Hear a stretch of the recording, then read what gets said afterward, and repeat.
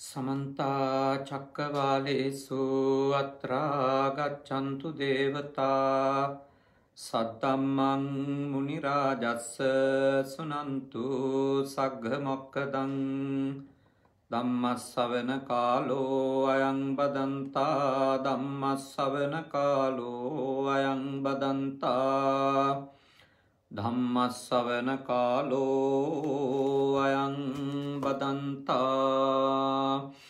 නමෝතස්ස භගවතෝ අරහතෝ සම්මා සම්බුද්ධස්ස නමෝතස්ස භගවතෝ අරහතෝ සම්මා සම්බුද්ධස්ස නමෝතස්ස භගවතෝ අරාතෝ සම්මා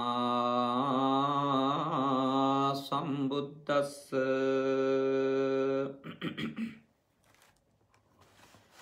කාරුණික ශ්‍රද්ධාකාමී පින්වතුනි අපේ පින්වත් පිරිස ඉතාම ශ්‍රද්ධාවෙන් මේ සන්ධ්‍යායාමයෙත් සූදානම් වෙන්නේ තථාගත ලෞතුරු බුදුරජාණන් වහන්සේ දේශනා කරපු උතුම් දහම් කරුණක් ශ්‍රවණය කරන්ට.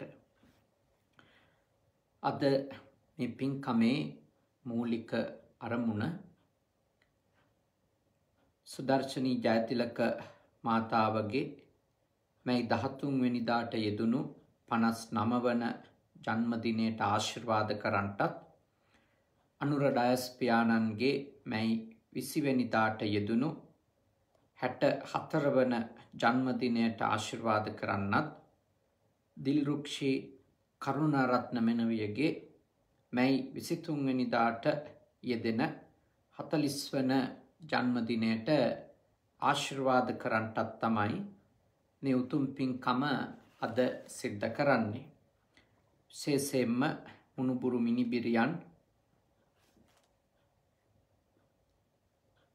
ඔශලි විහංගා බිනුලි එහන්සා කියන ඒ මිනිබිරියම් දෙදෙනත් මිහෙල් කීත් සිහලි විපස්සනා කියන මුණුබුරා සහ මිනිබිරියත් මේ උතුම් පින්කම තමන්ගේ අත්තම් මස්සියා වෙනුවෙන් විශේෂයෙන් සිද්ධ කරනවා. ඒ තමතරව අයසා ඩයස් ජයසා ඩයස් හිමරු ඩයස් කියන දුවදරුවන් ඒ පුංචි මුණුබුරු මිනිබිරියොත් එක්ක එකතු වෙලා තමන්ගේ ආදරණීය අම්මගේ ආදරණීය තාත්තගේ ජන්මදින වෙනුවෙන් ඒ දෙපලට ආශිර්වාද කරලා ඒ දෙපළගෙම නමින් මිය පරලොව ගියපු සියලූම ඥාතිහිත මිත්‍රාදීන්ට පින්පෙත් අනුමෝදන් කරලා මව්පිය පාර්ශවවල අද මේ උතුම් පින්කම සිත කරන්නේ. තිං ඒ පින්වත් පිරිස පාරණිකේතන භික්‍ෂු පුහුණු මධ්‍යස්ථානයේ විශේෂයෙන්ම දායකයින් ලෙස බොහොම ශ්‍රද්ධාවෙන් ආරණිකේතන භික්‍ෂු පුහුණු මධ්‍යස්ථානය වැඩ සිටින ස්වාමින් වහන්සේලට පුළුවන් උපරිම ආකාරයෙන් ඒ දවා දරුවන් ඒ මව්පිය දෙදෙනත් මුල් කරගෙන දම් පැම් පූජා කිරීමාදී කටයුතු වරින්වර සිද්ධ කරන ස්ථානය අඩුපාඩු සොයා බලලා ඒ කටයුතු වලට බොහොම ශ්‍රද්ධාවෙන් අප කැප වෙලා දායක වෙන සදහැවත් පවුලක පින්වතුන්. තිං ඒ පින්වත් මව්පිය දෙපලගේ ජන්මදිනයට සෙත් පතමින් ඒ පවුලේ කල්්‍යයාන මිතුරියකගේ දිල්රුක්ෂී මෙනවියගේ ජන්මදිනයට සෙත් පතමින් තමයි නෙවතුම් පින්කම ඒ දවා දරුවොත් මුණුබුරු මිනිබිරියොත් ඔස්ට්‍රේලියාවේ ජීවත් වනත් අද බොහොම ශ්‍රද්ධාවෙන් දායකත්වය අරගෙන සිද්ධ කරන්නේ. තිං අපි ඉතාම සතුටට පත්වෙනවා මේ උතුම් පින්කම අද දවසේ මේ ජපානේම වැඩ සිටියත් බුද්ධපුතුන් මුහුණුපොත ඔස්සේ හෝ සිත කරලා දෙන්නට අවකාශයක් උදාවීම පිළිබඳව. අද අපේ බුද්ධපුතුන් ශ්‍රාවක පිරිස වෙනුවෙන් මේ ධර්මානු ශාසනාවෙදී අපි සාකච්ඡා කරන්නේ අපේ තතාගත ලෝතුරු බුදුරජාණන් වහන්සේ වදාළ ශ්‍රී සද්ධර්මය ඇසුරු කරගෙන අපවත් වී වදාළ රේරුකානේ චන්දවිමල මහස්වාමින් වහන්සේ විසින් රචනා කරපු වටින ධර්ම ග්‍රන්ථයක් තමයි බුද්ධ නීති සංග්‍රහය. මේ ධර්ම ග්‍රන්ථයේ අන්තර්ගත ධර්ම කොටස් තමයි අපේ වරින් වර මේ ධර්මානු ශාසනා මාලාවෙදි ඔබත් එක්ක සාකච්ඡා කරන්නේ. අද දේශනාවෙහි මාතෘකාව වන්නේ සතර අගති පිළිබඳව. භාග්‍යවතුන් වහන්සේ මෙහෙම දේශනා කළා දීගනිකාය සිංගාලෝවාද සූත්‍රයේදී එය තමයි අපේ රේරුකානේ මහස්වාමීන්ද්‍රයාණන් වහන්සේ උපුටා දක්වන්නේ. චන්දා දෝසා භයා මෝහා යෝ ධම්මං අතිවත්තති නිහි යති තස්ස යසෝ කාලපක්ඛේව චන්දිමා චන්දා දෝසා භයා මෝහා යෝ ධම්මං නාතිවත්තති ආපූරති තස්ස යසෝ සුක්කපක්ඛේව චන්දිමා තාම වටින අර්ථාන්විත බොහෝම උතුම් පණිවුඩයක් අපිට ලබා දෙන අපූරු ගාථා ධර්ම දෙකක්. ඒ ගාථා ධර්ම දෙකේ තේරුමත් අපි බණපොතේ තියෙන විදියටම ඔබට ඉදිරිපත් කරලා පස්සේ ඔබත් එක්ක එහි අන්තර්ගතය පිළිබඳව සාකච්ඡා කරනවා. චන්දයෙන් හෝ දවේශයෙන් හෝ බයින් හෝ මෝහයෙන් හෝ යමෙක් ධර්මය ඉක්මවාද ඔහුගේ යසස කාලපක්ෂයෙහි චන්ද්‍රයා මෙන් පිරිහෙන්නේය. එතකොට එ පළමු ගාථාවේ අර්ථය කවුරු හරි කෙනෙක් ඡන්දය නිසා, ද්වේෂය නිසා, බය නිසා, මෝහය නිසා ධර්මය ඉක්මෙව්වොත් ධර්මය ඉක්මෙව්වොත් ඔහුගේ කීර්තිය පිරිහිලා යනවා. ඔහුගේ ජීවිතය පරිහානියට යනවා. කොයි වගේද? අර කළුවර පැත්තට කළුවර පැත්තට ගමන් කරන සඳක ස්වභාවයෙන් කියන්නේ අවපසට ගමන් කරපු හඳ කියලා. එතකොට අකණ්ඩව ගමන් කරන්නේ කළුවර වෙන්නනේ. හඳ කුඩා වෙලා කුඩා වෙලා කුඩා වෙලා ගිහිල්ලා මහා අඳුරක් තියෙන්නේ. අන්න ඒ වගේ ඔහුගේ ජීවිතේ වටිනාකම් නැති වෙලා යනවා කියලා භාග්‍යවතුන් වහන්සේ දේශනා කළා. ඊළඟට කවුරු හරි කෙනෙක් ඡන්දයෙන්, ද්වේෂයෙන් හෝ බයෙන් හෝ මෝහයෙන් යමෙක් ධර්මය නොඉක්මවාද දහම ඉක්මවන්නේ නැත්තම් භාග්‍යවතුන් වහන්සේ දේශනා කරනවා ඔහුගේ කීර්තිය සුක්ලපක්ෂයෙහි චන්ද්‍රයාමෙන් පුරපසහඳ වගේ පුරපසලොස්වකට කිට්ටු වෙනකොට හඳ පායල තියෙන විදිය. අන්න ඒ වගේ ඔහු දැබලෙනවා නැත්තං ඔහුගේ පුරපසට පුරපසලොස්වක කිට්ටු වෙනකොට හඳ මෝරන්න වැඩන්න පටන් ගන්නවා. අන්නේ වගේ ඒ තැනැත්තගේ කීර්තිය යසස වැඩෙනවා කියලා භාග්‍යවතුන් වහන්සේ දේශනා කරනවා. දැන් මේ ගාථා ධර්මය තුළ අන්තර්ගත වෙන දහම් කොට්ටාසේ හරිම වටිනා පූරු මඟ පෙන්වීමක් සහිතයි.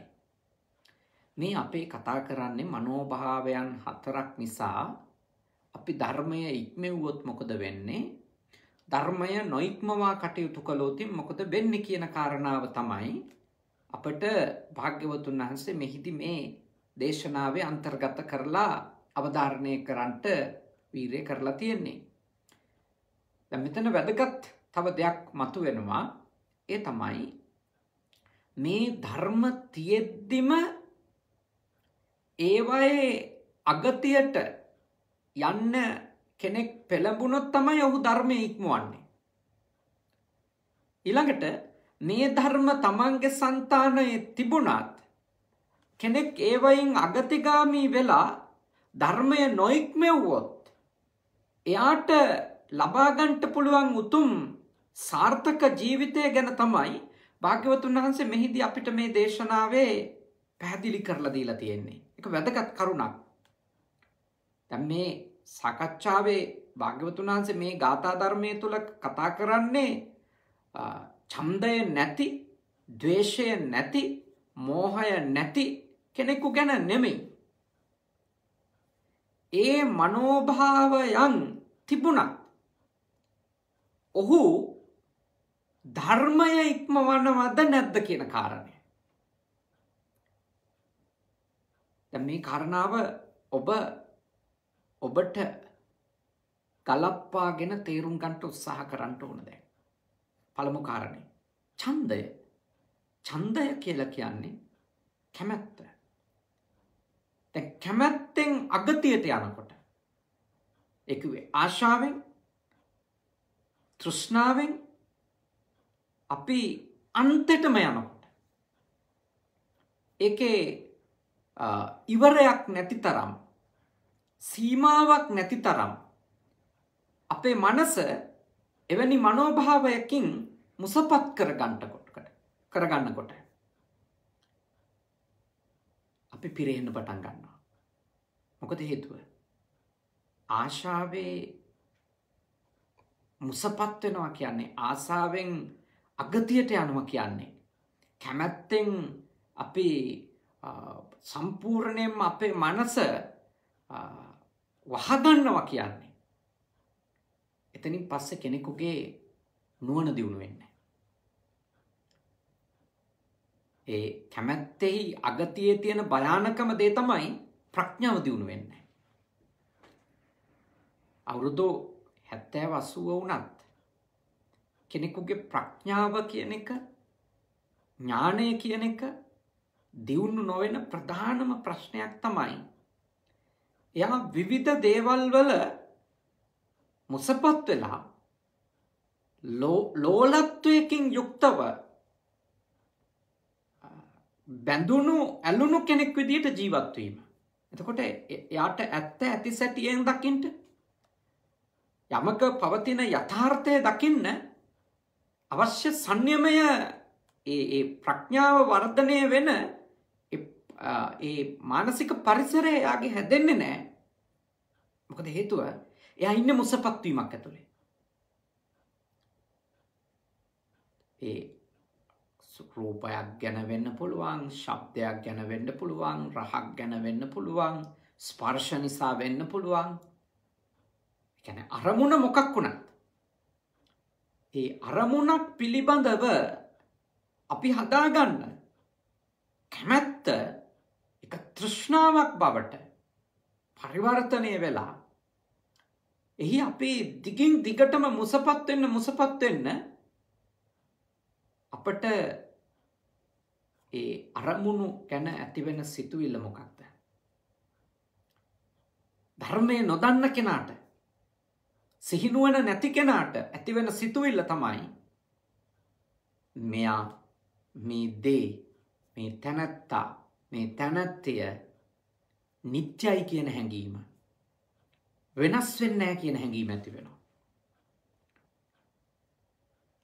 ඒ නොවෙනස් කියන හැඟීම අපිට ඔළුවට එන්න එන්න ගැන වෙනස් වෙන්නෑ මොකද ආස වුණන් අපිට හිතෙන වෙනස් වෙන්නේ නැහැ කියලානේ අපි ආස දේවල්. අපි ආස වෙන අය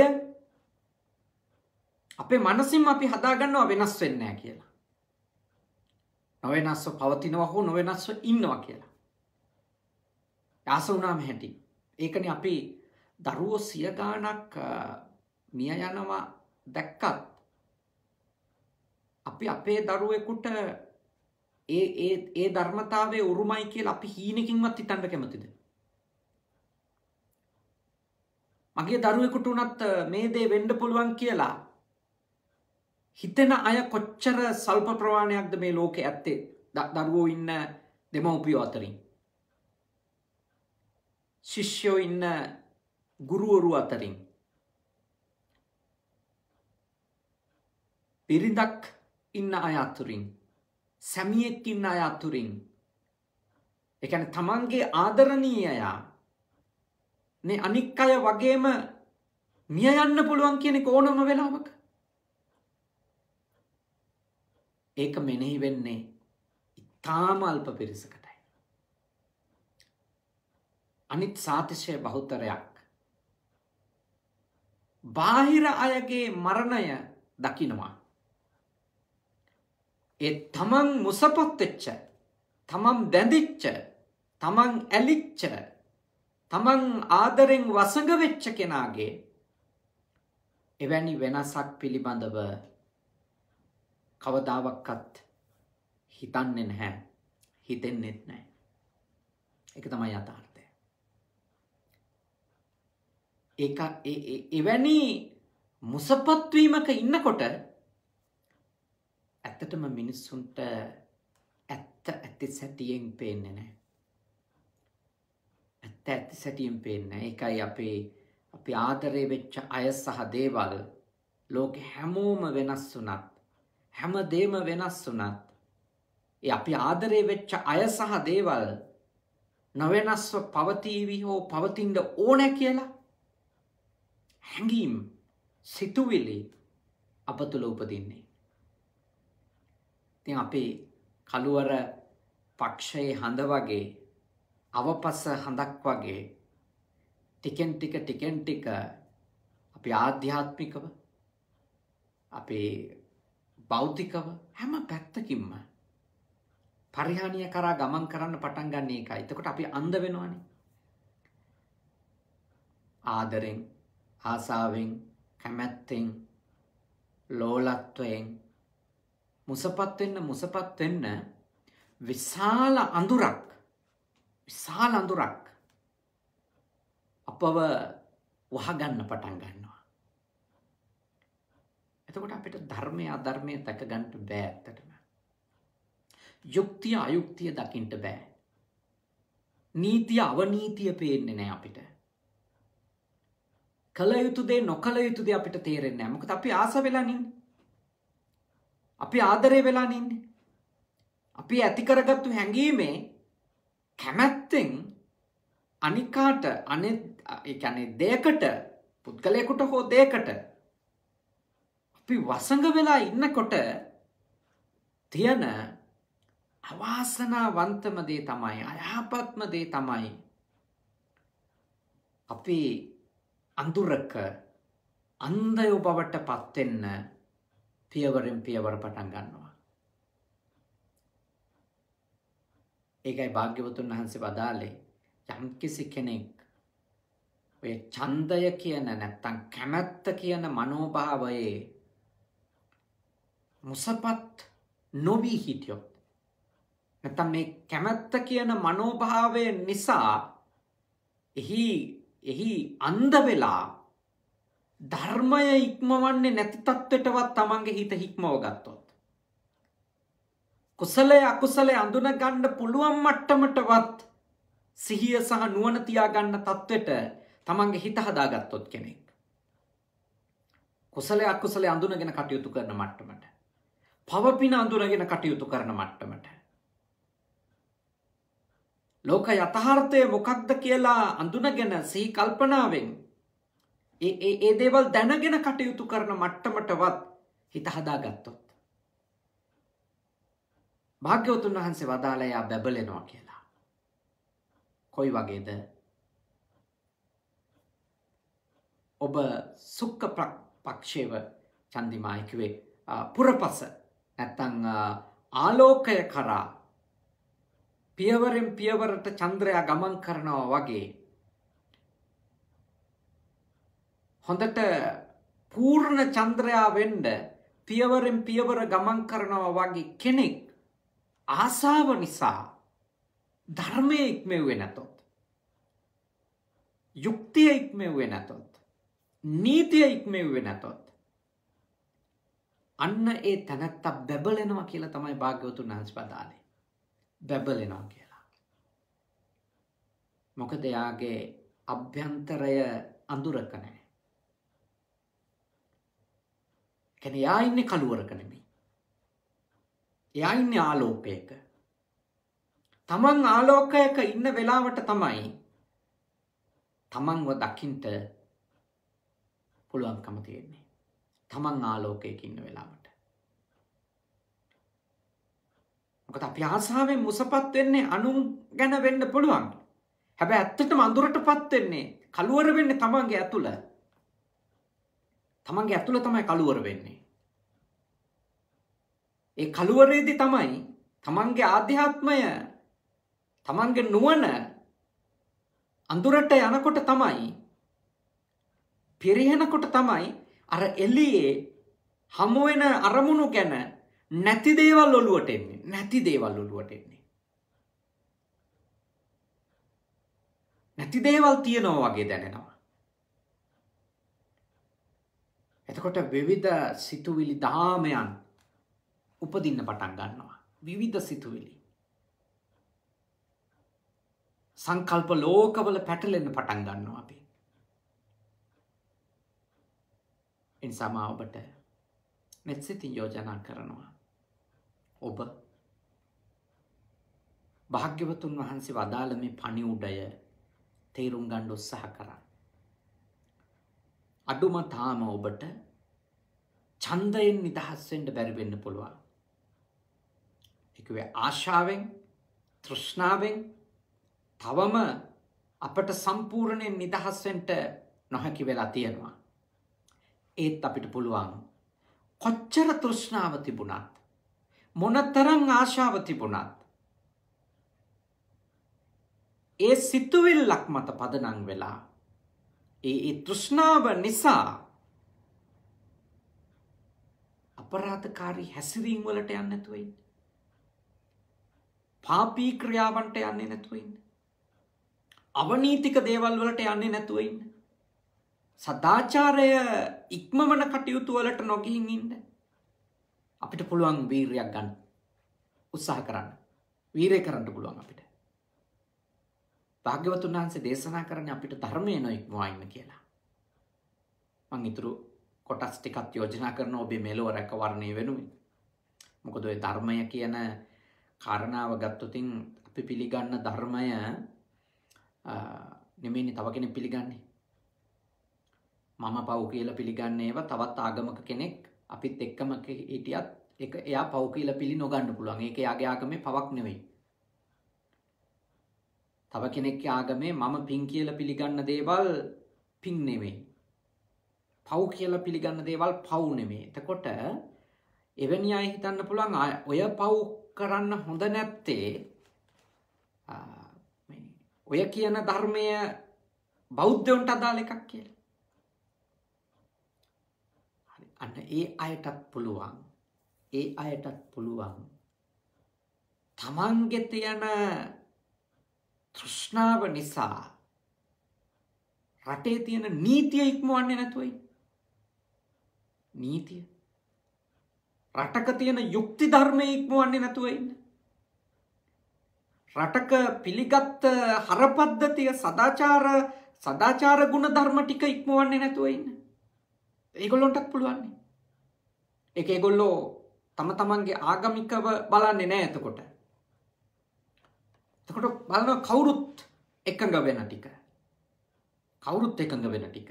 අන්න ඒ ටික ඉක්මවන්නේ නැතුව තමන්ගේ ආගම තුළම ඉන්න වනත් කෙනෙකුට මේ ධර්ම කරුණෙන් පණිවුඩයක් ලැබෙනවා.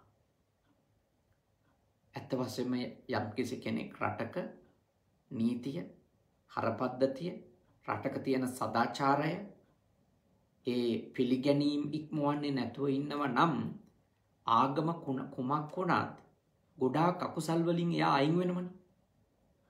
ගොඩා පව්වලින් අයින් වෙන ය පව් කියල පිළි අරගෙන නෙමේ නමුත් එය අයින් වෙනවා. ඒක ලොකු දෙයක්නේ ඒක යාටත් හොඳයි. එයත් එක්ක ජීවත්වෙන අන්න අයටත් හොඳයිනි ලෝකවාසීන්ට.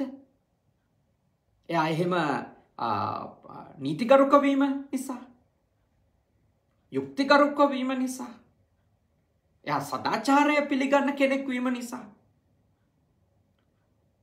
එහින්දා ඔබ ඉතාම හොඳ ශ්‍රාවකයෙක් ලෙස ඇහුන්කම් දෙන්නෙක් ලෙස මෙන්න මේ මනෝභාවය රින පැත්තට යන්නේ කොයි විදියට වැඩුනොද්ද ඒ වගේම කොයි විදියට කටයුතු කොළොද්ද මේ මනෝභාවයත් එක්ක?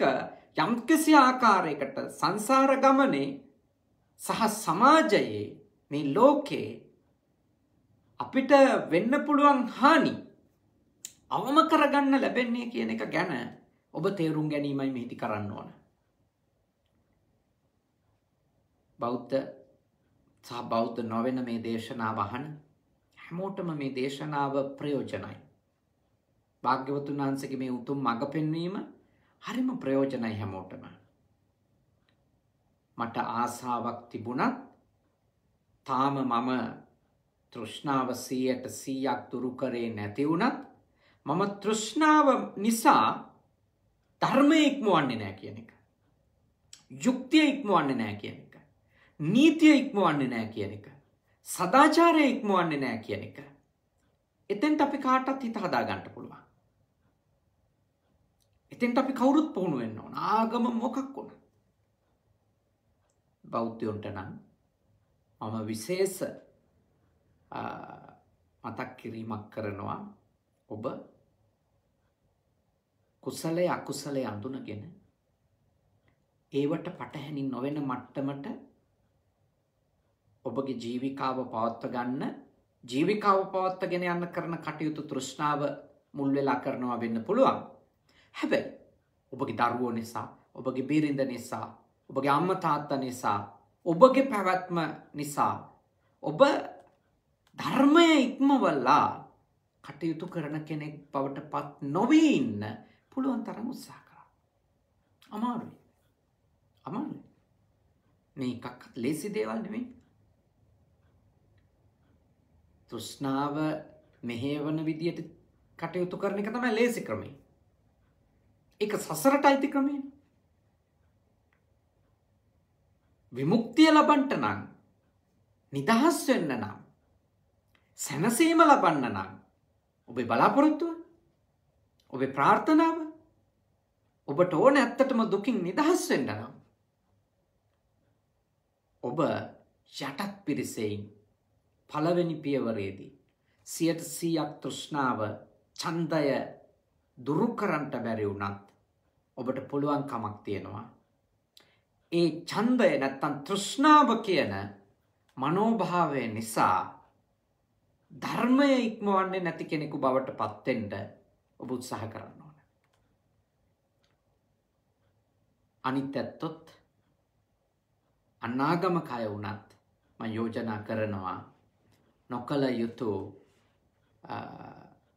අනිත් අයගේ ජීවිතයට දේපලට පැවැත්මට හානි කරවෙන කිසිම ක්‍රියාවක් ඔබ ඔබේ ආසාාවේ වහලෙක්වීම නිසා සිද්ධ කරන්නේ නැතුව ඉන්ඩ කියලා මා ඔබට මෙත් සිතින් යෝජනා කරනවා.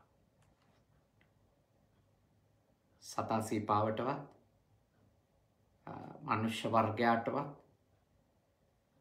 තමන්ටවත් අනුන්ටවත් හානියක් වෙනදේ විපතක් වෙනදේ විනාශයක් වෙනදේ ඔබ ඔබේ තෘෂ්ණාවේ ප්‍රතිඵලයක් විදියට ඇත්තං තෘෂ්ණාව නිසා ඔබ ක්‍රියාවට නංවන එතෙන්ට ගමන් කරන කෙනෙක් වෙන්ඩ එපා කියන යෝජනාව තමයි.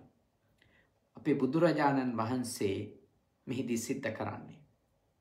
මේක අවබෝධ කරගන්න ඕන. අනිත්කාරණය තමයි. ධර්මය ඉක්මෝනවා කියන්නේ ඔබ ඔබේ රැකවරණය නැති කොරගන්නවා කියන එක. ධර්මය තුළ පිහිටනවා කියන්නේ ඔබ මේ ලෝකේ විශාල රැකවරණයක් ඔබේ සංසාර ගමනට ලොක්කු රැකවරණයක් ඔබ ඇති කරගන්නවා කියන එක. ධම්මෝ හවේ රක්කති ධම්මචාරී කියන බුද්ධ වචනය ඔබ ශ්‍රවණය කරලා තියෙනවා. අනන්තවත්. අපේ තථාගතයන් වහන්සේ අපට නිරන්තරයෙන් අවධාරණය කරන්නේ.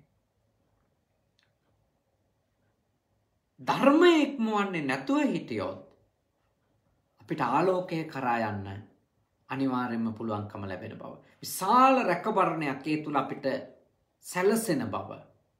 කොත්තන හිටියත් තනිවම හිටියත් පිරිසක් එක්ක හිටියත් කොත්තන හිටියත් ඔබ රැකෙනවා ඔබ පිහිටා සිටින ධර්මය නිසා. එනිසා ඒ කොටස ඔබ තුළ පුහුණු කරගණ්ඩ වීරය කරන්න හරීම වටි ඔබට. හරිම ප්‍රයෝජනවත් වේ. ඊළඟට දෝසා. දෝසා කිවේ දවේශය පටන්ගන්න කොහොමද? අකමැත්තෙක්නේ අපේ දවේශය ආරම්භ වෙන්නේ කොහොමද? අකමැත්තෙන්. අකමැත්ත වැඩිවෙන්න වැඩිවෙන්න තරහා දවේශය ක්‍රෝධය තවත් වැඩි වෙනකොට වෛරය උපනා බද්ධ වෛරය ව්‍යාපාදනු නස්සලම දාණ්ඩෝන නැස්සෙන්ඩ මෝන කියන හැඟීම. ඒ අගතියට යන්න යන්න ඒ ගැනේ එහි උපරිමයට වැඩෙන්න වැඩෙන්න එය කළුවර පැත්තටම යනවනේ. කළුවර පැත්තටම යනවා. අඳුරේ ඉඳගෙනම දේශය කියන අන්දකාර ඉඳගෙනම තවතවත් තවතවත් දේශයම වැඩි කරගන්න කරුණු කාරණා හොයනවා. දේශය තවතවත් වැඩිවෙන අරමුණම නිතර නිතර නිතර නිතර බලනවා. ස්පර්ශ කරනවා. ඒ ගැනම නිතර නිතර මනසිකාර කරනවා. එතකොට අවපස සඳ වගේනේ කල්ලුවරටම කල්ලුවරටම ගමන් කරනවා. කවදාවක්කත් සත්‍ය දකින්නේ. කවදාවක්කත් සත්‍ය දකින්නේ. සමහර විට මට හිතෙනවා අර සමහර අය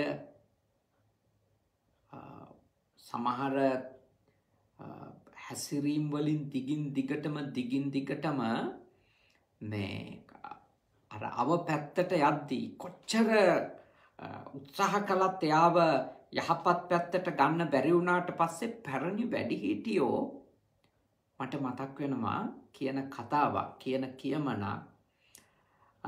බලුවලිගය උනපුරුකෙ දැම්මත් ඇදේ ඇරෙන්නේ කියලා. මං හිතනවා ඒක ඒගොල්ලෝ සංනිවේදනය කරන්න උත්සාහ ගන්න ඇත්තේ තැන් යම්කිසි කෙනෙක් අකණ්ඩවම දැඩ්ඩිව ගත්ත අගතිගාමී සිතුවිලිවල ඉන්නව නම් එයා කොච්චර හරි පාරට හරවන්න හැදුවත් හරිම දුස්කර කාරණයක් එයාව හරි පාරට ගන්න අර බල්ලන්ගේ වලිගේ උනපුරුකක් කියන්නේ සාමාන්‍යයෙන් මේ කෙලින්නේ තියෙන උනපුරුක ඒකෙ දාලා තිබුණත් ඒකෙ තියෙන ඇදේ සීයට සීයක් නැතිවෙන්නේ නෑවගේ අර වගේ දවේශය වැනි මනෝභාවයක ඉන්න කෙනෙක්. එයා ඒක තේරුම් නොගන්න තාක්කල් තමන් ඉන්නේ වැරදි ස්ථානයක කියලා. තේරුම් නොගන්න තාක්කල්. එයාව කොච්චර හොඳ පරිසරයක තියලා වෙනස් කොරගන්න උත්සාහ කළත් එයාට තේරෙන් නැත්තං එයට තේරුම් ගන්න ඕනකමක් නැත්තං අනිවාරෙන්ම එය කළුවරටම අන්තුරටම ගිහිල්ල ගිහිල්ලා විනාස වෙලා යනවා. එහින්දමා ඔබට නෙත්සිතින් යෝජනා කරනවා කරුණාවෙන් දයාවෙන් යුක්තව ඔබ ඔබේ ජීවිතේ තරහව තාම සීයට සීයක් දුරුකරපු කෙනෙක් නෙමෙයි. ඔබනාගාමි පලයට පත් වෙලා නැත්තන්. තවම තියෙනවා දවේශය වරින් වර පැනනගිනවනේ. අඩුම උත්සාහ කරන්න අඩුම. පළවෙනි පියවරේදි මම යෝජනා කරනවා දවේශය නිසා අම්ම මරන්න තාත්ත මරන්න සංගභේදය කරන්න බුදුරජාණන් වහන්සේ නමකගේ සිරුරෙ ලේහොලවන්න රාතන් වහන්සේ නමක් ඝාතනය කරන්න කියන ඒ ආනන්තර්ය පාප කර්ම කොරගන්න තත්ත්වයට යන්න එපා පළවෙනිම දේ ඒක. ඊළඟට ඔය ද්වේෂය නිසා උත්තමයින්ට නින්දා කරලා.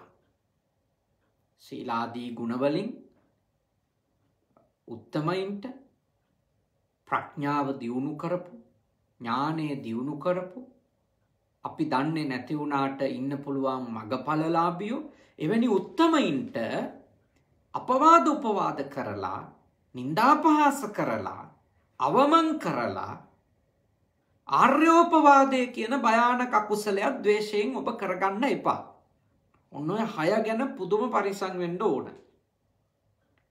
මොකද ආනන්තරිය පාප කර්මට වලට අමතරව ඔය ආර්යයන් වහන්සේලාට ආර්ය භාවයට පත්වෙච්ච උත්තමයින්ට අවමන් කිරීම නින්දා කිරීම අපහාස කිරීම පහත් කරලා හෙලා දැකලා බැනාඩ ගහලා කතා කීම හරි භයානක එකක්. එකත් ඔය ද්වේෂයෙන්ම කරන්න. දැන් එතනින් මෙහාට ඔබ ද්වේෂය නිසා ඔය ටික නම් අනිවාර්යයෙන්ම වළක්ව ගන්න ඕනේ හිත. හැබැයි එතනින් මෙහා ගත්තොත් ඔබ ද්වේෂය නිසා කරන යම්කිසි අකුසල ධර්ම තියෙනවා නම් ප්‍රාණඝාත කිරීම පරුස වචන කීම් කේලම් කීම් ප්‍රධානයිනි තරහෙම්මනි කරන්නේ ඔය ටික. අන්න ඒ වගේ සමහර හොරකම් කරන තරහටනේ. සමහර හොරකම් තරහට කරනවා. තැන් මේ ලක්කාවේ ප්‍රවෘත්තිවල මම දකිනවා කියනවා මේ එන්නතේ දෙවනි මාත්‍රාවෙන තොරකං කරනවා කෙළේ තරහට නෙමෙයි ඒ තන්නාවට. මරණ මංචකේ ඉන්න මිනිියගෙන් හරි හොරකං කරගන්න මිනිස්සු කියන්නේ තෘෂ්ණාවෙන් මුසපත් වෙච්ච මිනිස්සුනේ. එතෙන්ට වැටිච්ච මිනිස්සු කියන්නේ. ඒ මිනිස්සු මිනිස්සු පුදුම කේද වාචකයක ඉන්න මිනිස්සුනේ. පුදුම කේද වාචකයක මිනිස්සු ගැන දැටි ලෙස අනුකම්පා කරන්න ඕන. දැටි ලෙස. මරණ බයෙන් තැතිගත්ත මිනිස්සුන්ගේ දෙයිනුත් හොරාකණ්ඩ හිතනවා නම් යමෙක් ඒ මිනිස්සු ගැන පුදුම විදියට අනුකම්පා කරන්න ඕන. අනේ පව් කියලා විතරයි කියන්න තියෙන්නේ. වෙන කියන වචනයක් නැහැ. යන තැනනේ යන තැන ඊළඟ භවේ හිතා ගන්නවත් බැරි. ඒ ඒ තෘෂ්ණාව. දැන් සමහරු ඉන්නවා හොරකම් කරන තරහට. තරහට හොරකම් කරන අය ඉන්නවා. ඒ කියන්නේ යාට ඒකට ඇලීමක් නැහැ. නමුත් අනිකාට හිංසනයක් කරවන්න ලේසි මේක හැංගුවම හොරකම් කරලා හංගගත්තම මොකද එයාට නම් වගකීම තියෙන්නේ. අපි කියමුකෝ මෙහෙම. ආයතනක වටිනම ලිපිගොනුවක් වගකීම තියෙනවා යම් පුද්ගලයෙකුට. ඔබ ඒ පුද්ගලයක තරහයි. එයාව අමාරුවේ දාන්න ඔබ ඒ ලිපිගොනුව හොරකම් කළොත්. එතකොට ඒක ද්වේෂමූලිකයිනේ තරහ මුල් වෙලානේ කරන්නේ. එතකොට ඒක හින්දා අරයා පීඩාවකට ගොදුරු වෙනවා. ප්‍රශ්නයකට මුහුණ දෙනවා. අන්න එවැනි. දේශ සහගත සිතින් යම්කිසි අකුශල ධර්මයක් කරනවා නම් අන්න ඒවයින් වලකින්න බලා. ප්‍රාණඝාත කිරීම නම් අනිවාර්යයි. ඊළඟට පරස වචන කීමත් දැඩි ලෙසම ද්වේෂය මුල් වෙන්නේ. කේලම් කියන්නේ අනිවාර්යෙන්ම දැඩි ලෙස ද්වේෂය මුල් වුණාම අනිත් අකුසලුත් දවේශය මුල් වෙලා ඔය දහයම කොරන්නත් පුළුවන්. මුල් සිතුවිල්ල මොකක්ද කියලා හෙව්වොත් දවේශය හමුවෙන. මුල් එක. අනුසාංගිකව තෘෂ්ණාව මෝහය ඔවත් තියෙන. සා බුද්ධිමත්ත බලන්ඩ මම මේ අද මැරයිද හෙට මැරයිද දන්නේ නැති ජීවිතයක් ගෙවන්නේ. මට තාම දවේශය සීයට සීයක් දුරු කරගන්න බෑ. ඒත් මට බැරිද මගේ දවේශය නිසා අනිත් අයට කරන අපරාධ නවත්තන්න. අනිත් අයට කරන කරදර නවත්තන්න. අනිත් අයට කරන පීඩා නවත්තන්න. අනිත් අයට කරන හිංසා නවත්තන්න. අනිත් අයගේ ජීවිතත් එක්ක කරන සෙල්ලම් නවත්තන්න බැරිද මට. මට එතෙන්ටවත් හිත හදාගන්න බැරිද. ඉතින් එතින්ටවත් ඇත්තටම අපිට හිත හදාගන්න අමාරුයි නම් පාරඉන්න සුනකෙකුට කේන්තියාම සහ අපිට කේන්තියාම අතර වෙනසක් නෑන. තිරිසන් සත්තුන්ටත් කේන්ති ගියාම ඒගොල්ලුන්ට ඒගොල්ලු පාලනය කරගන්න බෑනි. මොක ඒකට අවශ්‍ය නුවන නෑ. ති අපිත් කරන්නේ දවේශය කියන මනෝභාවය ඇතිකරගත්තට පස්සේ ඒ සිතුවිල්ලට අනුව අපේ සියලුම චර්යාවන් මුදහරිනව නම් එක අදහස තමයි අපි සත්තුයි වෙනසක් නෑ කියලා. අපි සත්තුයි වෙනසක් නෑ. තින් ඔබ එතෙන්ට වැටෙන්ට ඕනද. ඔබ එතෙන්ට වැටෙන්ට ඕනද බන්නේ කාරණාව හොඳට හිතා. මේ ලබපු උතුම් මිනිස්සාත්මය ඔබ එවැනි තත්ත්වයකට ඇද වැටුණු කෙනෙකු බවට පත්වෙනවාද නැත්තම්. ඔබ තතාගතයන් වහන්සේගේ ශ්‍රාවකයෙක් ලෙස යටත් පිරිසෙයින් දවේශයේ වහලෙක් වෙලා ධර්මය ඉක්මවන මට්ටමට යන්නේ නැතිව හිත හදාගන්නවද. යුක්තිය නීතිය සදාචාරය ඉක්මවන මට්ටමට වැටෙන්නේ නැතුව ඔබේ හිත පාලනය කරගන්නවද කියන එක ගැන ඔබ ටිකක් හිතන්ඩ කියලම යෝජනා කරන. ඔබට පුළුවන් එක කල්පනා කළ අවබෝධ කරගෙන ඔබම මේක පුහුණුවෙන් මේක භාග්‍යවතුන් වහන්සේ සිංහලවාද සූත්‍රයේදි වදාළ ඒ ධර්මකරුණ රේරුකානේ චන්දවිමල මහස්වාමීන් වහන්සේ බුද්ධ නීති සංග්‍රහය කියන වටින දහම් පුස්තකේ සටහන් කළා මං ඒ ඇසුරු කරගෙන ඔබට මේක කියල දෙනවා. අපි කාටත් එතකොට භාග්‍යවතුන් වහන්සේත් මඟ පෙන්වීමක් කළේ ඒ මඟ පෙන්වීම තව පිරිසකට ලස්සන කෘතියක සටහන් කළ රේරුකානිසායින් වහන්ස සිත කළා. උන්වහන්සේගේ දහම් කෘතිය ඇසුරු කරගෙන දේශනාවක් තුළින් මම ඔබටත් ඒ මඟ පෙන්වීම කරනවා. දැන් කාටත් කරන්න පුළුවන් මොකක්ද. අනුන්ට යම්කිසි මඟ පෙන්වීමක් කරන්න පුළුවන් ඒත් ගලෝ ගණ්ඩ බෑ. බේර ගණ්ඩ බෑ. තමම්ම නෙවැනි අයහපත් මනෝභාවයකින් තමන්ගේ ජීවිතය පරිහානියට යනක වලක්ව ගන්න පුළුවන් තරන් කැපවෙන්න පුළුවන් තර බැරි දෙයක් නෙමේ එක ඔබට අනිවාරයෙන් පුළුවන්. එක ඔබට අනිවාරයෙන් පුළුවන්. ඔබ එය ඔබේ ජීවිතයේ ඔබ ගෙවන මේ මොහොතේ සිද්ධ කරන්න. ඒවගේ මනෝභාවයක අන්තයට යෑම වලක්ව ගණ්ඩ ඕන නම් එකට තියෙන හොන්තම ක්‍රමයක් තමයි මම මැරෙන කෙනෙක් නේත කියලා හිතන එක. මම මැරෙන කෙනෙක්නේ මගේ මරණය කොයි වෙලේද දන්නෑනේ තියයි මං වෛර කරන්නේ ඇයි මං වෛරෙන් මේ විදියට කතා කරන්නේ ඇයි මං ක්‍රෝධ කරන්නේ. ඇයි මම ක්‍රෝධයෙන් මේ විදියට හැසිරෙන්නේ. ඇයි මම කෙනෙකුගේ ජීවිතය එක්ක සෙල්ලං කරන්නේ. ඇයි කෙනෙකුගේ දේපලක් මම නැති කරන්නේ. ඇයි කෙනෙකු ගාතනය කරන තත්ත්වට මම යන්නේ. මං ඇයි අවනීතික වෙන්නේ. මං ඇයි සදාචාරය ඉක්මුවන්නේ. හොඳට තේරුම් ගන්න.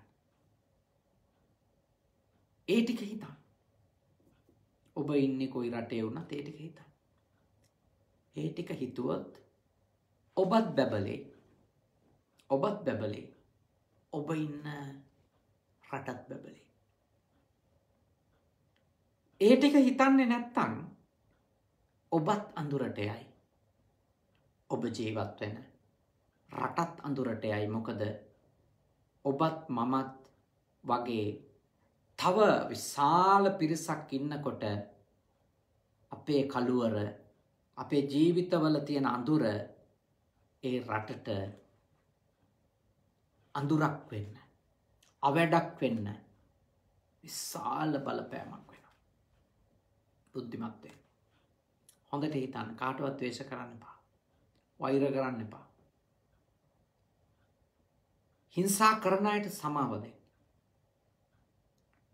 සමාවදීම අමාරු දෙයක් වුණාට මේ ලෝකෙ උතුම්ම දෙයක් සමාවදීම. අත්හැරීම අමාරු දෙයක් වුණාට මේ ලෝකයේ සැනසිල්ලම ලැබෙන දෙයක් අතහැරීම. හිංසා කරපු අය අතඇරල දානක. පී කරන පීඩාවල් අමතක කරලා අතෑරල දානක. පෙරලා ඒ දේවල් කරන්න යන්නේ නැතුව. අමාරුම දෙයක් ඒත් මේ ලෝකට අවශ්‍යම දෙයක්. වෛරය පිරුණු ක්‍රෝධය පිරුණු ලෝකය පටික්කූල ජනකයිනේ හරි පිළිකුල් අගතිගාමී වෙච්ච ලෝකය දෙස දකිනකොට ඇතිවෙන්නේ හයියෝ මේ මිනිස්සු කොහෙතින්නේ කියලා. වසංගතයකින් ලෝකයක මිනිස්සු තමන් මැරයිදෝ කියල බයම් පීඩා විඳිද්දී අපි දකිනවා ලෝකයේ තවත් තැන්වල බලය වෙනුවෙන් දවේශයෙන් එකිනෙකාට බෝම්බ හෙලාගන්න මිනිස්සුනේ. එකිනෙකාගේ ජීවිත සමඟ වියරු යුද්ධවල පැටලිච්ච මිනිස්සු අපි දකිනවා. බුද්ධිමත්තේ. තුන්ගනි කරුණ. තුන්ගනි කරුණ තමයි. භාග්‍යවතුන් වහන්සේ දේශනා කරනවා. භයා. භයෙන් අගතියට ගියොත්. බයවීම නිසා ධර්මය ඉක්මවොත්. බයහින්ද ධර්මය ඉක්මවොත් බයහින්දා. බයහින්ද ධර්මය ඉක්මවන කෙනත් උන්වහන්සේ වදාලා පිරිහෙනවා.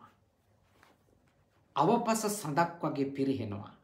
හැබැයි බය කියන මනෝභාවය නිසා යම් කිසි කෙනෙක් ධර්මය ඉක්මවන්නේ නැතුව කටයුතු කළෝතින් එකන බය කියන මනෝභාවය අපිට උදව්වෙනවනේ පවට බයවෙන් අකුසලයට බයවෙන් වැරැද්දට බයවෙන් ඒ බය කියන මනෝභාවය පව ගැනැති කරගත්තු අනය එතකොට එයා බැබලෙනවා. යා බයයි මොනවටද? පවට පව් කරන්න තමන්ව පොළඹවන චෛතසිකවලට බයයි වැති කරගන්න බයයි නෑ එක ඇතිවෙන්ට දෙන්න බෑ කියලා පාලනය කරනවා දුරු කරනවා තදංග වසයෙන් හෝ යටපත් කරනවා එක එක උත්තුම් තත්ත්වයක් උතුම් තත්ත්වයක් එක හැබැ සමහර කෙනෙක් බයහින්දා විවිධ අකුසල් කරගන්න. බය ඇතුළේ.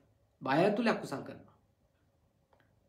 බය ඇතුළෙම තාම අනුවන හැසිරිම්වලට ගිහිල්ලා තාම අනුවන හැසිරිම්වලට ගිහිල්ලා විශාල විනාස කරගන්නවා. විශාල විනාස පුංජි විනාසනමේ තමන්ට අනුන්ටත්. ඉනිසා මා ඔබට සීකරනවා භය කියන එක එන්න පුළුවන් ජීවිතේ. පරින් මර අපිට බය කියන ධර්මය ඇති වෙන්න පුළුවන්. ඒත් බයේ වහලෙක් වෙන්න එපා. බයට මුසපත් වූ එක් වෙන්න එපා. ඒමුණොත් පැටලෙනවා. එහෙමුණොත් පැටලෙනවා. බය මුසපත් වෙච්චෙක් කෙනෙක් වුණොත් බය වහලෙක් වුණොත් බයෙන් අගතයට ගියෙක් කෙනෙක් වුණොත් ඔබ දන්නෙත් නෑ ඔබ පිරිහිලා යන හැටි. බය හින්දම ගත්තු තීරණ නිසා කරපු අකුසල් නිසා මිනිස්සු දුගතිකාමි වෙනවා. මෙලොවත් ගොඩාක් පරිහානිය කරගමන් කරවන. ගොඩක්. සා බය කියන ධර්මයෙන් මත්තුුණු බය කියන මනෝභාවය නිසා මුලාවුණු ඒ නිසාම අඳුරට ගියපු කෙනෙකු බවට පත් නොවෙන්ට භාග්‍යවතුන් වහන්සේ ඔබට මට අවවාද කරනවා මේ දේශනාව මඟ පෙන්නනවා. අපි බයවෙන්න ඕන පවට විතරයි. අකුසලේට විතරයි. නීතිය යුක්තිය ධර්මය ඉක්මවා යන්න අපි බයවෙන්න ඕන ඒවා ඒවා කඩන්ඩ අපි බයවෙන්න ඕන. ඒවට බයක් නැති වුණොත් අපි ගොඩක් කන්නතුරුවලට වැටෙනවා. නැතුව පුද්ගලයොන්ට සත්තුන්ට තැන්වලට දේවල් වලට බයවෙන්ඩ ඕන්නෑ. ඔබත් මාත් බයවෙන්ඩ ඕන අපේ මනස ඇතිවෙන භයානක සිතුවිලි වලට. භයානක සිතුවිලි වලට. මට දවේශය උපදිනකොට ඒ සිතුවිල්ලි උපදින එක ගැන මට බය හිතෙනවා. ඇයි මේ භවය නිමා වෙනකොට මේ සිතුවිලි මේ දවේශය තුරුකරගෙන යන්ඩ බැරිවුණොත්. ඊළඟ භවයකදී මේ දවේශය ඇති කෙනෙක් විදිහටන උපදින්නේ. එවැනි භවයකදී අපේ අතින් දවේශය නිසා අද සම්මාධිට්ටික නිසා කොච්චර දවේශයාවත් අපි භයාන කකුසල්වලට නොගින් ඉන්නවා වෙන්න පුළුවන්. ඒත් අපි යම්කිසි තැනක ඉපදුනොත් අපේ අතින් ආර්ය උත්තමයකුට හානියක් වෙන් මවට පියාට හානියක් වෙන ඊළඟ භවයක මේ දවේශය නිසා? අපි කොහොමද දන්නේ? ඒකයි අපේ දවේශය උපදින එක. අපේ ඇතුළේ අභ්‍යන්තර මේ දවේශය කියන මනෝභාවය තියෙන එක ගැන අපි බයවෙන්ඩ ඕන. මේ ආත්ම කෝමාරි බේරගෙන යන්න පුළුවන් වේ එත් මේ දවේශය නිසා අපි ඊළඟට උපදින තැන කොයි දේවල් කරයිද අපි? අපිට දවේශය ආදීනවයවත් කියල දෙන්න එක සත්පුරුෂයක්කත් නැති තැනක ඉපදුනුත් අපි මොකද කර අපි අම්ම මැරීම සාමාන්‍ය දෙයක් ලෙස ගන්න එකක් නැත්ත අපි තාත්ත මරණ එක සාමාන්‍ය දෙයක් ලෙස ගන්න එකක් නැද්ද? එක සත්පුරුෂයක්කත් නැති තැන කිපතුුණු එක කල්්‍යාන මිත්‍රයෙක්කත් නැති තැන කිපතුුණු සත්පුරුෂ ධර්මයක් යුක්තියක් නීතියක් සදාචාරයක් නැති තැනක අපි ඉපදුණු? අපි කොහොම හැසරේද ඒකයි මෙහි තියෙන බියකරුකම. අපි බයවෙන්න ඕනේවට පුද්ගලයොන්ට තැන්වලට දේවල්වලට කල්ලුවරට ඔය දේවල්වලට බයවෙලා කවදාවක්කත් තව තවත් අඳුරට යන වැඩ කරන්න බා. ඉන්න හොන්තට හිතන් බුද්ධිමත්ව හිතන් අන්තිම කාරණය. මෝහා කවුරු හරි කෙනෙක් මෝහයෙන් මුලාබවින් අනුවනකමින් අන්තෙට ගියොත්. මුසපත් වන අගතියට ගියොත් එයා ධර්මය ඉක්මවන්න පුළුවන්. අඥ්ඥානකම අනුවනකම ධර්මයක් නොදන්නකම හොඳක් නරකක් අවබෝධ කරගෙන නැතිකම අපි අකුසල්වලට යන්න තියෙන හේතුවක්නේ අපි අකුසල්වලට යන්න තියෙන හේතුවක් අපි අකුසල් කරන හේතුවක් ඒක. හේතුවෙන් අපි නිදහස්සෙන්ට ඕන. වහ වහ අපි දැනුම දියුණු කරන්න ඕන. අපි කරන දේවල් හොඳ දේද නරක දේද? කුසල් දකුසල්ද පෞද පින්ද? ධර්මයද අධර්මයද? නීතියද අවනීතියද? යුක්තියද අයුක්තියද මේ? මේ සදාචාරයද මේ දුරාචාරයද? ඒ ටිකවත් දැනගන්න නුවන දියුණු වෙන්න පැ ඒ ටිකවත් දැනගන්න තරන් නුවනත් දියුණු නුවනොත් ඔබ හිතන්ට අපි කොතෙන්ට වැටේද කිය අපි මොන්න තරම් භයානක අකුසල් කරගන්න පුළුවන්ද? එහින්දා මෝහය කියන්නේ අගතියට ගියොත් මෝහයෙන්. මෝහය කියන්නේ මඳුරක්. ඒ අඳුරේ තව තවත් තව තවත් ගිලුණොත් මෝහය කියන්නෙම කළුවරනේ මෝහය අවිද්‍යාව අන්තුර කියලමනේ ධර්මය උගන්නන්නේ නේද? මෝහන්දකාර කියලනි කියන් අවිදු අඳුර කියලනි කියන් අවිද්‍යා නැමති අන්දකාරය කළුවරමයි. තනිකර කළුවර මේ කළුවරේ අපි කරන දේවල් නිසා අපි ගොඩාක් විපත්ති කරගන්න පුළුව ගොඩක් විපත්ති. එහින්ද මං ඔබට මෙත් සිතින් යෝජනා කරනවා. හැම්ම කෙනෙක් හැම්ම කෙනෙක්ම මේ චෛතසික හතරෙන් මොනෝද චන්ද දවේශ භය මෝහ. චන්දා දෝසා භයා මෝහ. මේ ධර්ම හතර ඉක්මවන්නේ නැතුව මේ ධර්ම හතරේ මුසපත් වෙන්නේ නැතුව මේ ධර්ම හතරේ වහලෙක් වෙන්නේ නැතුව කටයුතු කරන්න පුළුවන් තරම් වීරය කරන්න. පුළුවන් තරම්. මොකද ඒ වීරියය මම දන්නවා ඔබට යහපතක් මිසක අවැඩක් නං කරන්න. ඔබ ආලෝකය කරාගෙනයාවි. ඔබ අඳුරෙන් එලියට අරගෙනයාවි. ඔබ මේ සසර ගමනෙන් නිදහස්වුණු කෙනෙකු බවට පත්වෙන්න ඔබට මේ ධර්මහතරේ මුසපත්වෙලා අගතියට ගිහිල්ලා අකුසල කරගන්නේ නැති තත්ත්වට ඔබ පත්වනෝතින් නිසක වසෙම නිසැක වසෙම ඔබට විමුක්තිය කරා යන ගමනට ඒ උපකාරයක් වේවි. ඉතිං අද මේ දහම් පනිවුටය මේ දහම් දෙසුම තමන්ගේ ආදරණීය අම්මට තමන්ගේ ආදරණීය තාත්තට උපන්දින ත්‍යාගයක් ලෙස තමයි ඔස්ට්‍රේලියාවේ ජීවත්වෙන අයශා ඩයිස් ජයසා ඩයස් හිමරූ ඩයස් කියන එදවා දරුවෝ. මොනුබුරු මිනිබිරියොත් හතර දෙනෙක්කින්නවා ඔශ්ශලි බිනුලි මිහැල් සහ සිහලි. ඒ පුංචි මොනුබුරු මිනිබිරියු පුංචි දරුවෝ ඉගෙන ගන්න.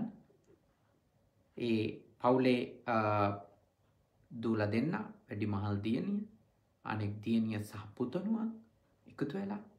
තාම හොඳින් ශ්‍රද්ධාවෙන් යුක්තව. සේසේම වැඩි මහල් දියනිය මේ උතුම් පින්කම අම්ම වෙනුවෙන් තාත්ත වෙනුවෙන් සිද්ධ කරලා දෙන්න කියලා අපිට බොහෝම ගෞරවයෙන් ආරාධනා කරලා.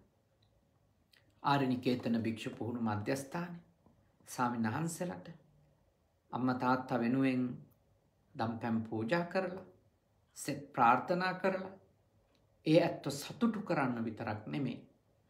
ඒ ඇත්තන්ට ආශිර්වාද කරන්න විතරක් නෙමෙයි. ඒ ඇත්තන්ට ප්‍රඥාව දියුණු කරගන්න. නුවන දියුණු කරගන්න. සසරි අනතුරකට වැටෙනෙ නැතිවෙන්න. පුංචි හෝ උපදේශනයක් ලැබෙන දහම් දේශනාවකුත් සිත කර දෙන්ට කියලා අපිට ආරාධන කළා. බොහෝම ශ්‍රද්ධාවෙන් යුක්තව. ඉතිං යම්ම තාත්තා දෙන්නට ගොඩාක් සතුටු වෙන්න පුළුවන්. ඒ වගේම ජයශානෝනා මහත්මියගේ ඉහෙලියක් දිල්රුක්ෂී කරුණාරත්න ඉහෙලියට ඇයගෙත් උපන්දිනය යෙතෙනවා මැයි මාසේ විසිතුන් ඇනිදට තව දවස් දෙකකින්ට ඇයටත් සෙත් පතල ආශිර්වාද කරලා තමයි මේ උතුම් පින්කම සිත කළේ. ඉතිං අපි සතුට වෙනවා මේ පින්කම කරලා ඒ මව්පිය දෙපලටත් යනෙක් පවුලේ හිතවතියටත් ආශිර්වාද කරන්ට ලැබීම පිළිබඳව. බොහෝ දෙනෙක් ඔබ ශ්‍රද්ධාවෙන් බණ ඇහුවා.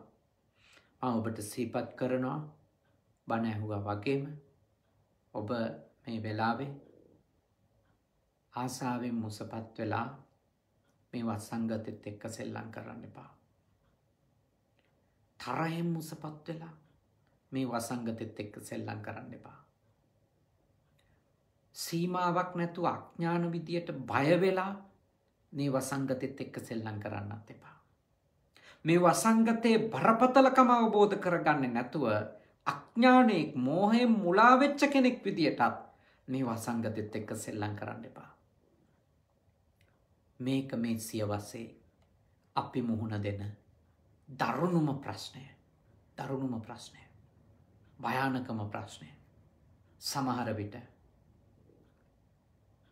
තවත් මේ වගේ දෙයක් දකිින්ඩ ඔබ මම අප අතරින් කී දෙනෙක් නේ ලෝකෙත් තව ජීවත්ව ඉද දන්න අනාගතය මීට වඩා දෙයක් දකිින්ද සමහරවිට. මේ වසංගතය ඔබේ මගේ අපි ඕන කෙනෙක්කේ ජීවිතය නිමා කරන වසංගතය වෙන්න පුළුවන්.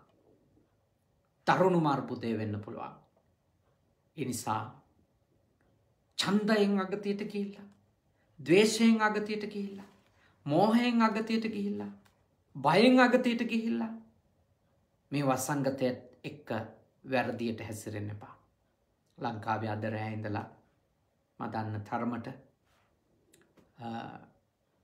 දැන් කියන්නේ සංචරණ සීමා කියලනේ කලින්කිවේ නිරෝධාය නැදිරි නීති කියල කෝම නමුත් පනවල තියෙන නීතියක් එ නීතිය පුළුවන් තරන් රකින්න වෛත්‍යවරු ඉල්ලන්නෙත් මොලේ තියෙන හැමෝම ඉල්ලන්නෙත් චූටි දවසක් හරි රටේ සංචරණයන් අවම කරවන්න කියලා. නමුත් එකෙසේ වේවා ඒ පනවල තියෙන දවස් ටිකත් සමහර විට ඔබේ ජීවිතේ රකින්න උදව්වක් වෙන දවස් ටිකක් වෙයි. වෙසක් කාලෙ කියලා පන්සල් ගාන යන්න එපා. ගෙදරින්දම් බුදුන් අදින්න. ගෙදරින්දන් සිල්වන්තව ඉන්න. ගෙදර ඉඳන් සිල්වන්තව ඉන්න. ගෙදර ඉඳම් මෛත්‍රිය කරුණාව දයාව දියුණු කරගන්න. පවුලෙ සාමාජිකයොත් එක්ක ආධ්‍යාත්මික ජීවිතයක් නි සතිය පුරා ඔබ ගත කරන්න රැස්වෙන්ඩ ඕන්නෑ දැම් මේ මොහොතෙත් ලංකාවේ අපේ ආරණිකේතන භික්ෂ පුහුණු මධ්‍යස්ථානය අපේ පොඩි හාමුදුරුවරු අපේ ශිෂ්‍ය පුත්‍රයාණන් වහන්සේලා අපේ ජේෂ්ඨ ශිෂ්‍ය පුත්‍ර අපේ උත්තරාට්ට විලුවේ චන්දරතන සායන්හන්සේගේ මඟ පෙන්වීමත් එක්ක ආරණිකේතන ද්විභාෂා පිරිවෙනේ කෘත්‍යාධිකාරී මගේ ශිෂ්‍යයන් වහන්සේ සිලවන්සායන් වහන්සේ නියෝජ්‍ය කෘත්‍යාධිකාරී අපේ බුදුගොල් සාමීන් වහන්සේ ඇතුළු ශිෂ්‍ය පුත්‍රයින් වහන්සේලා. මේ වෙලාවෙත්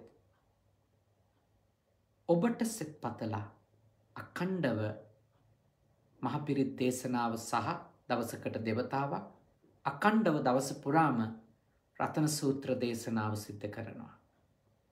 වෙසක් පෝය නිම වෙනකම්ම යාශිර්වාද කරනවා.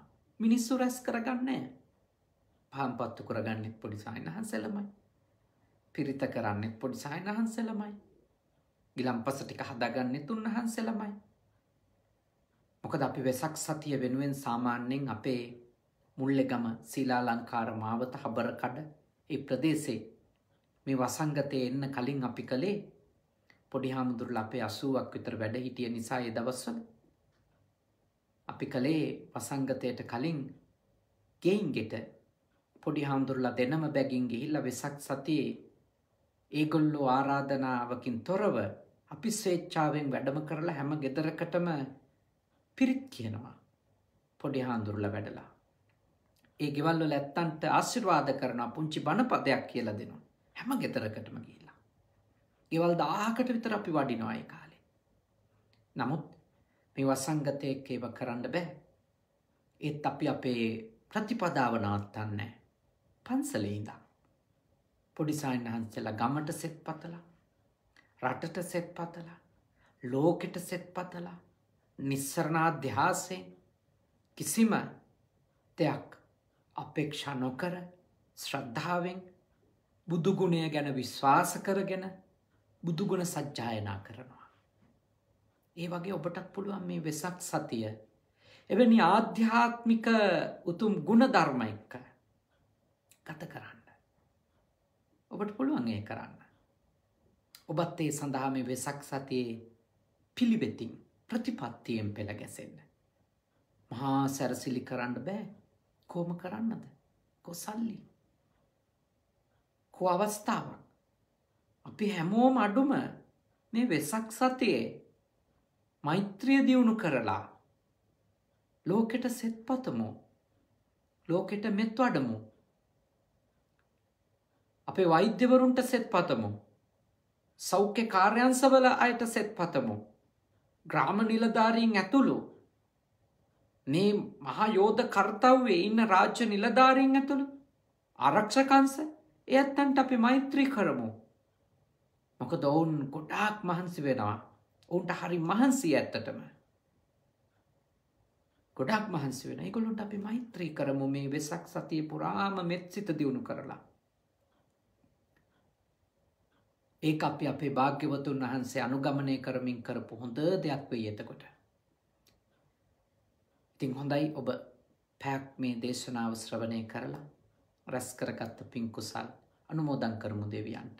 දෙවියෝ මේ පින් අත් කර ගනිත්වා ඒ අනුරඩයිස්පියානන්ට ඒ මෞතුමියට වගේමයි පවුලේ දිල්රුක්ෂී ඒ පවුලේ හෙලියක් හිතවතයක් එතුමියට ඇතුළු කොට ඔබටත් රටටත් ලෝකයටත්. මේ වසංගතයෙන් නිදහස්වෙන්ට පින් අනුමෝදන් වන දෙවියන්ගේ ආශිර්වාද ලැබේවා. කරදර බාධක සියල්ල දුරුවේවා මුළු ලෝම නිදුක්වේවා නිරෝගිවේවා සෝපත්වේවා දෙවියෝ ඔබ ආරක්ෂ කරත්වා උතුම් දෙවිවරුද නිවන් අවබෝධ කරත්වා සාධූ සාධු සාධූ. ඒ වගේම යනුරඩයිස් පියාණන් වෙන නමින් ඒ මෞතුමිය නමින් මියගිය සියලුම ඥාතීන්ට පණහපෝබ නමින් මියගිය සියලු ඥාතීන්ට. ඒ වගේම මේ ලෝකෙ පුරාම මේ වස්වංගතය නිසාමියගේ සියලු ඥාතීන්ට ඒ අනුරඩයිස් පියාණන්ගේ පවුලෙත් ඥාතිවරයක් මේ මෑතකත් මිය ගියා ඒ සියලු දෙනාට මේ පින්හත්වේවා සුපත්වේවා සැපවත්වේවා දුකින් මිදේවා උතුම් නිවනින් සැනසෙන්ට මේ පින් කුසල් පාරමී වේවා සාදු සාදු සාදු. අවසාන වස්සයෙන් ඔබ අප හැම දෙනාට දෙවි දේවතාවුන්ට මියගිය සියලූම ඥාතිහිත මිත්‍රාදීන්ට මේ පින් කුසල් බලයෙන්. උතුම් අමාමහන් නිවනම අවබෝධ වේවා. සාදු සාදු සාදූ. ආකා සට්ටහාච බුම්මට්ටා දේවානාගා මහිත්තිකා. පුඤ්ඥන්තන් අනුමෝදිත්වා චරන් රක්කන්තු ශාසනං ආකා සට්ටාච පුම්මට්ටා දේවානාගා මහිත්තිකා. පුඤ්ඥන්තන් අනුමෝදිත්වා චරන් රක්කන්තු දේශනම් ආකා සට්ටාච පුම්මට්ටා දේවානාගා මහිත්තිකා. පුඤ්ඥන්තන් අනුමෝදිත්වා චිරන් රක්කන්තු මම් පරම්තීති ඔබ හැම දෙනාම නිදුක්වේවා නිරෝග වේවා සුපත්වේවා තෙරුවන් සරණ